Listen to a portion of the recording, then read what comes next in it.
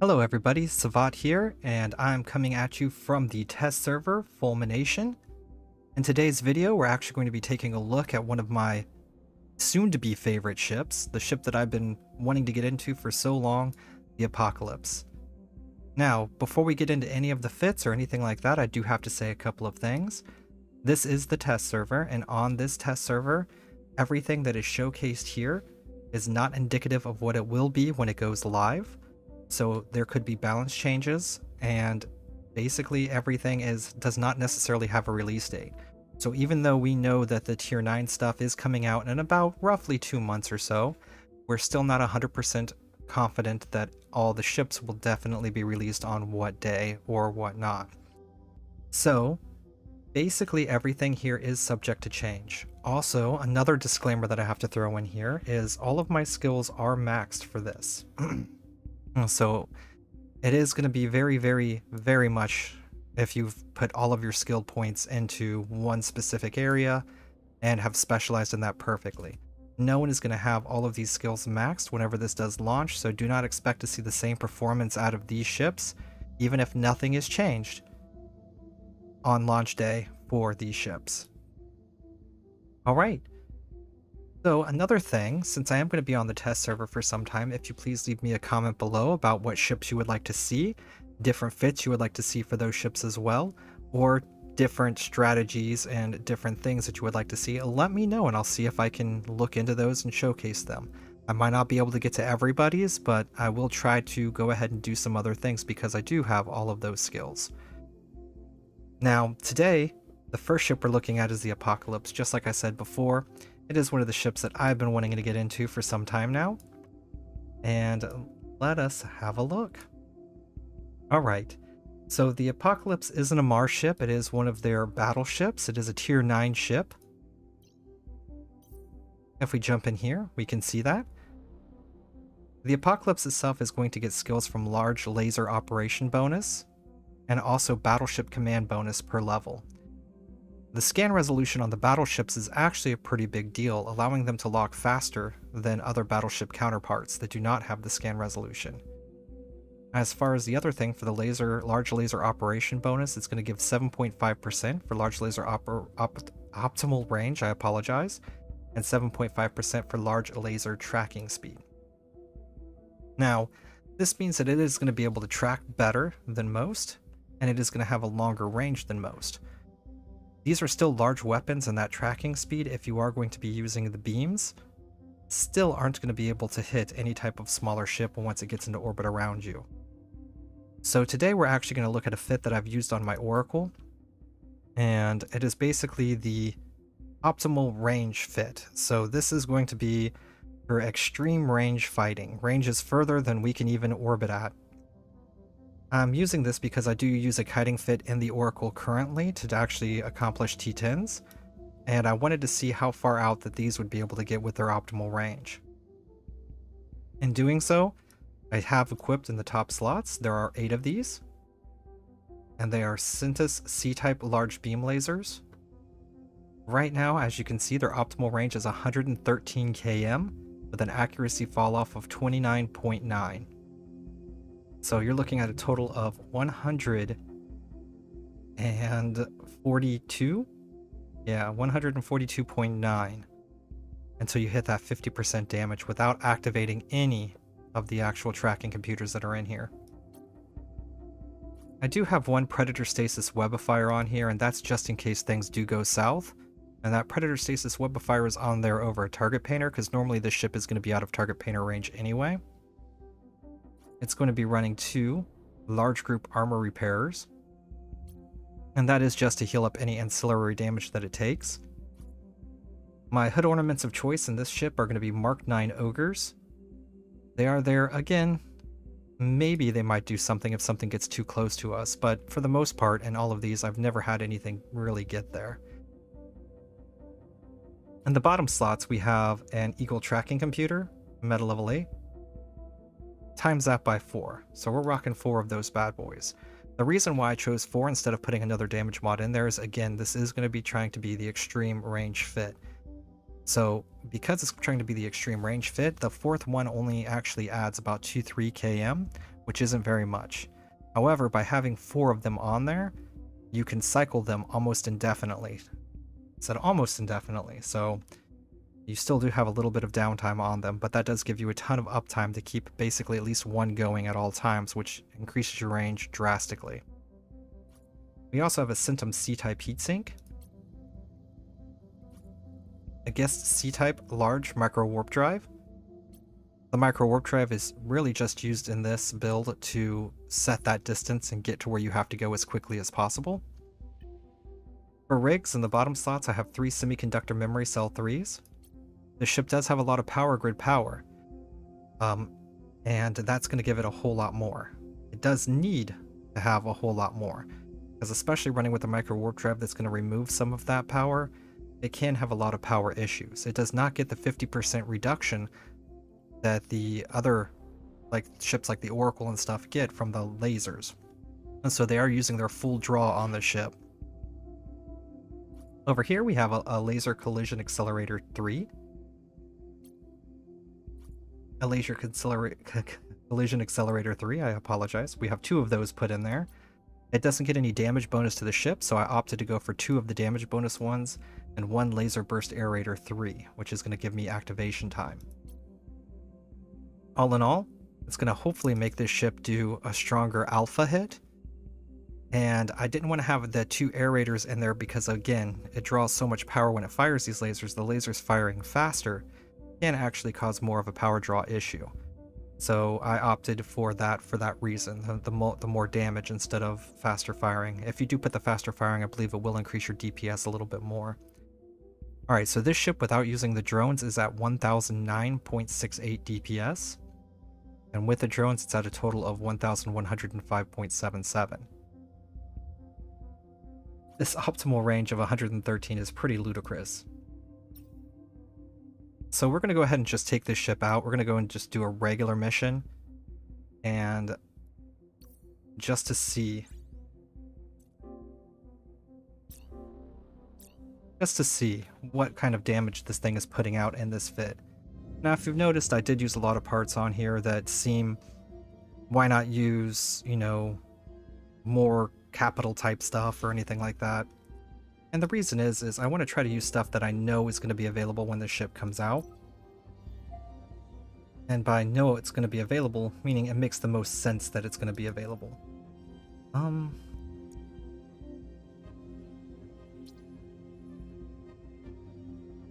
So we're going to warp it at 100.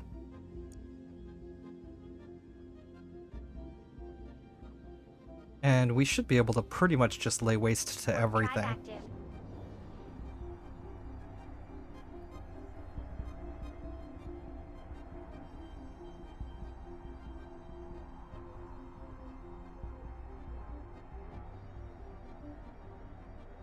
Battleship is very slow to warp, so if mistakes are made, you're probably not getting out. Hence the Weber. So this ship can have quite a few locks at one time. One of the things we want to look at here is see if anybody is actually going to be approaching us quickly. Doesn't look that way, we're just going to let them fire. Okay. So if I can show you from here, if I activate one of those, the range on this becomes 159 km for optimal range, with 40 km accuracy fall off, so it can go out to 199 before 50% damage. Next, if we activate the damage, while that's activated, it's at 1274 DPS.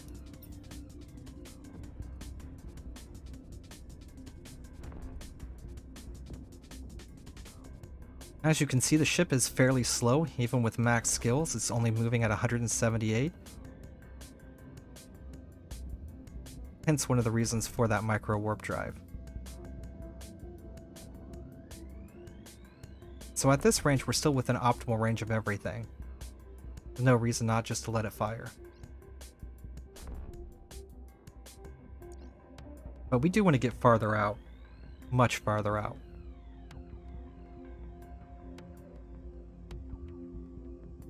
Alright, so with max skills and this micro warp drive active, We are doing a pretty decent speed here. I want to see what it actually gets up to.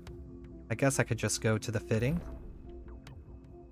Navigation will be 1100, so with max skills it's 1100.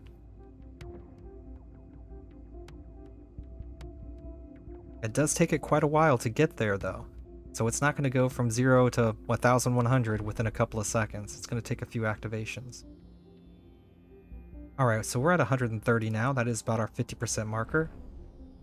So we're going to activate those. We'll turn this off.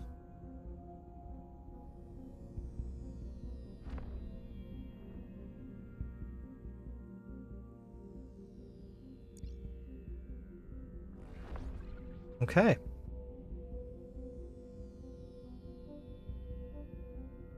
It's even very slow to stop. See, we still get a lot more speed.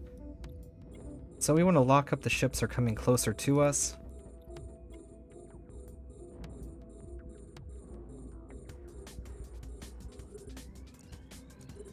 We'll activate our range, and we are going to just start blapping them.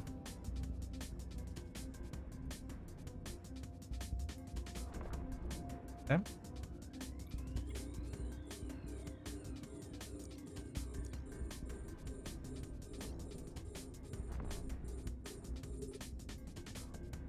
So as you can see here, the last one just fired. The first one is almost, almost done, not quite. But even at these ranges, we can still apply a little bit of damage.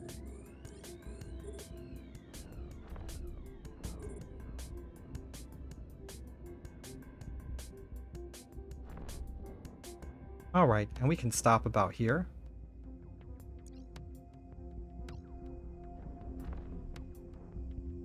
So able to do 5,000 damage from, from this range is really safe. Now also notice the ship itself is so big whenever it does stop from all of the inertia, it does change its direction. So it is going to take it a moment to actually get back into alignment whenever you are trying to move. So if you do stop with the ship, just realize that is a thing.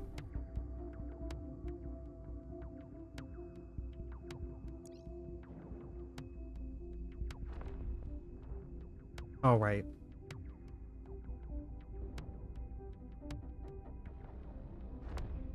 One of the things I would like to see if we are going to have ships that have long ranges like this that are going to be able to reach over 100, having an orbit or an approach that are over 100 would also be very nice as well.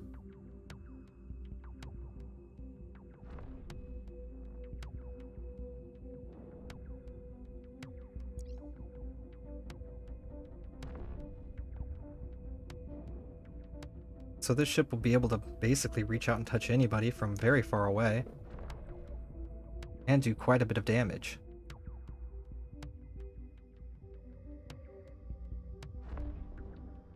Okay.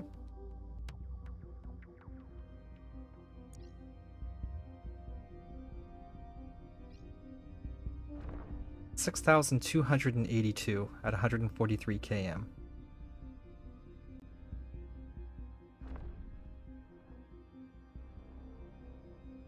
Even without having those on, we're still able to hit and do damage out of these ranges. Damage is a lot lower though.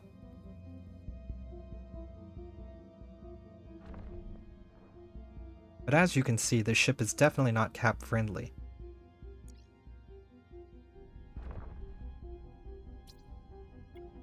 This is with maximum skills, so you can see that uh, the cap's going down a lot on this, so just imagine when you have lesser skills.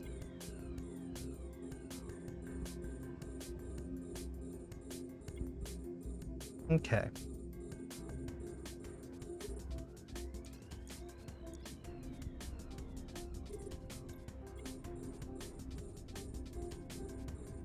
So we can pretty much stop here.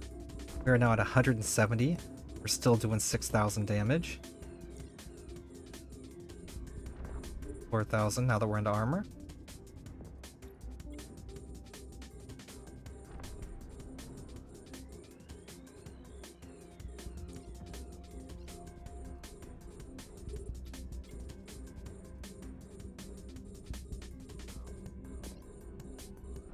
Yeah, it's just taking everything out.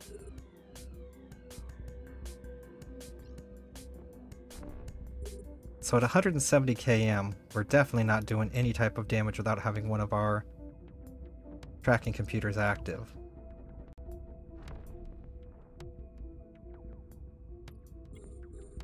Now this is just a test with this ship. I want to take it against some of the T-10s and see how it performs. I'm pretty sure it's going to be able to do all the T-10s no problem whatsoever just by saying extremely far away.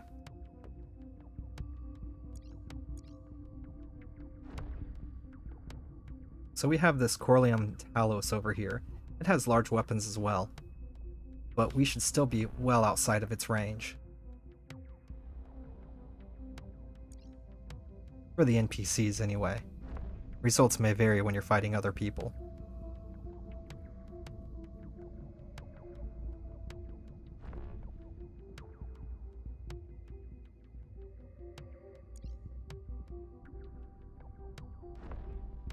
One of the things I might actually end up doing with the ship is, again, I don't know where it's going to start stabilizing on its cap, so I have to play around with it a bit more to find that out. And the reason is, is as you can see, the cap is now sitting at 51%. If I'm chain activating these, is it going to be able to keep up?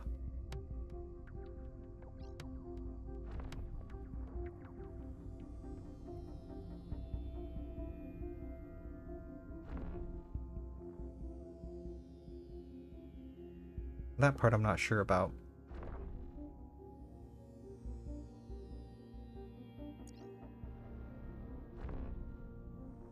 Okay. We're going to start approaching again and get even further away.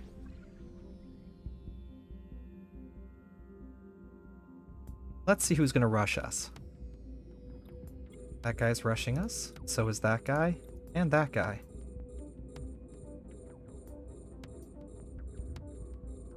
Guy's already at 140 away from us. He's moving quite fast.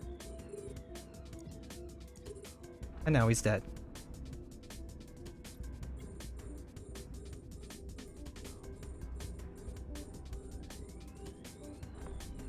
Hmm, we almost one-shot him.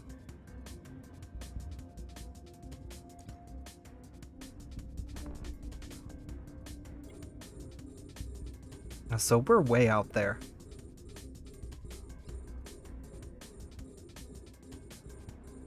I don't even think these guys have any chance of actually getting to us. Again though, better safe than sorry, which is why I brought the Predator Webifier. One of the things that I do believe is I don't think those large drones are going to be able to hit these fast frigates with their micro warp drives and whatnot if they're not webbed down. So even though we do have the drones there, I'm pretty sure you would need a Weber. Also, another reason, like I said, is at these ranges, the target painter's not really going to do anything. So I really don't know what I could put there. The only th other thing that I can imagine that would actually be somewhat useful is for something like Angels and Devils or whatnot, where you have ships that'll actually be able to hit you back. Those ships, in those cases, um, having the extra group armor repairer to help heal up some of that might actually be very useful. As I know with the Oracle currently, I've set out at some ranges, not this far, but I've set out at some ranges where I'm still being able to get hit back.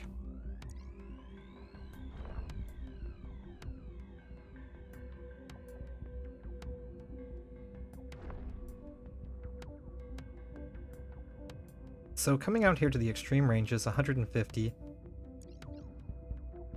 And like I said, this thing can even go out to 200 if you need to. So if these ships started hitting you back at 200, you can be at 50%. But we're sitting here at basically 150, doing full damage.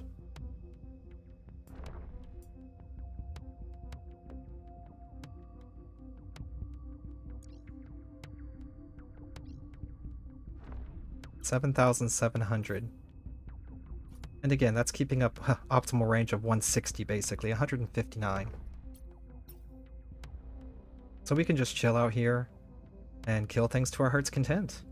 As long as we make sure that we do take out anything that is going to be rushing toward us, and we should have the distance that we can actually do that quite easily. The reload time on the large lasers is, or the activation time rather, is very quick comparatively. Cannons, for example, are going to have an extremely long refire rate. That's that. So I know this was just a very simple mission to showcase this on, but I didn't want to get into anything long with this ship just yet. I just kind of wanted to show off that it can sit out at some pretty extreme ranges and still be an optimal range and do full damage. It can make quite quick work of everything and it's going to make doing storylines the way that I like to do storylines very simple, and I'm very excited to actually see this ship and be able to play around with it. So let me know what you guys think about the apocalypse down in the comments below, and again, let me know what you what you want to see next, and how you would like me to go about that. Please don't forget to hit like and subscribe, and ring that bell if you want to be notified by any more releases that I release whenever I do. Also, please follow me on Twitter, and join us on Discord. Again, thank you for watching, I hope you have a great day, and I will see you next time here from the test server, Fulmination, and Eve Echoes. Thank you.